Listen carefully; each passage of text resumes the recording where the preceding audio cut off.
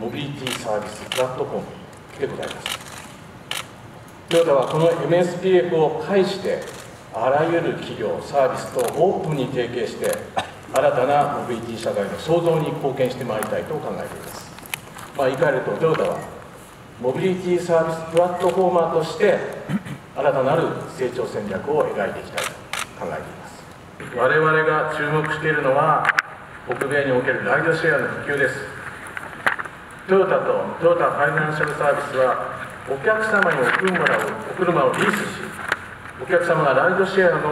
ドライバーとして得た収入から月々のリース料金をお支払いいただくフレキシブルリースプログラムを開発いたしました。北米においてはライドシェアと同じく個人間のカーシェアも伸長しておりまして個人のカーシェア会員というのは2020年には1000万人に達すると言われています。安心で便利なカーシェアを実現する上で課題となるのがキーの受け渡しです。トヨタはこの度カーシェア事業者向けに安全かつセキュアなキーの受け渡しを実現する SKB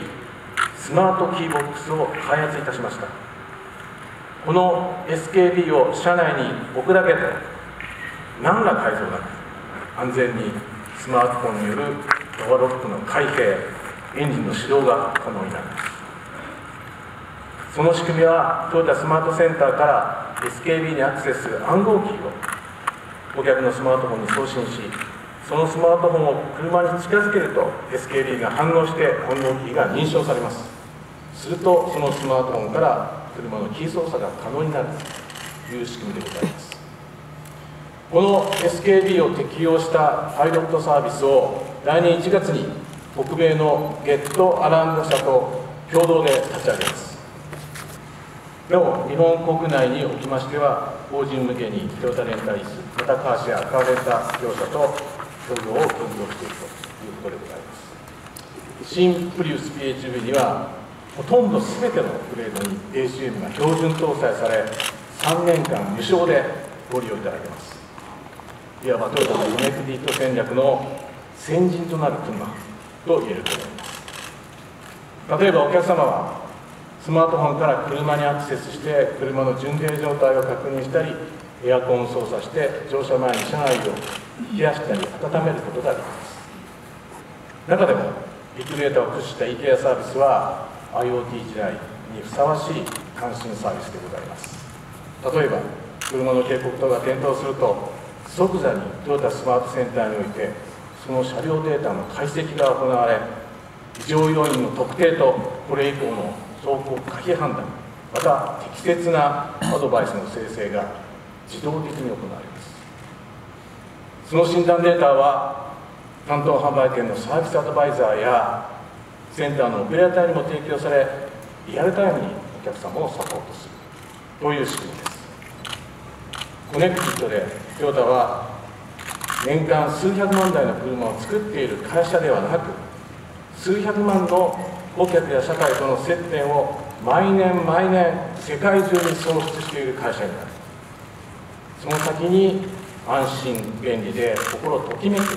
未来のモビリティ社会を創出したいと考えております。今後その事業モデルの展開と収益にどう結びつけていくかという点についてシェアリングについて教えてください。はい。あのー、まあ、松友がいわゆるそのカーシェアの事業主体になるかどうかっていうのはそれは地域とかですね状況によって変わると思います。例えばあの日本の場合ですとあのトヨタレンタリースがですねカーシェアもしくはレンタカーの当然事業主体になる可能性十分あると思いますね。ただあの基本的にあの私もが提供したいのはあ車ってやはりあのお客様の命を預かる商品ですからあの車の一つの性能としてそういった、まあ、API 含めて保証していく。でその API を、まあ、トヨタの関連会社であろうと一般のレンタもしくはリースシェア事業者でも使えるように用意しておく。でそれがあの MSPF BT サービスプラットフォーマーという、まあ、構想です。構想というか今作ってるんですけどね。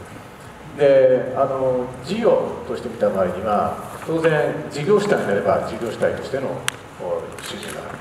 でモビリティサービスプラットフォーマーとしては当然プラットフォームの利用料をまあいただくことになる。もしくは SKB のようなああいう機器ですね。車載端末を含めた機器をリースもしくは販売する形になると。いう形でございます。まあ一概に簡単には言えないんで、そういうことをこれからきちっと決めていくという形になると。思いますであの政府の支援といいますかあの当然行政との連携というのは非常に重要になります。これはあのコネクティッドもそうですし自動運転もそうですし車はあの公道を走ってますのでそこで提供されるサービスとか新たな車の在り方というのはやはり地域国によって法令も違いますしあの普及したいかしたくないかっていうところもやはり違うと思いますのでね。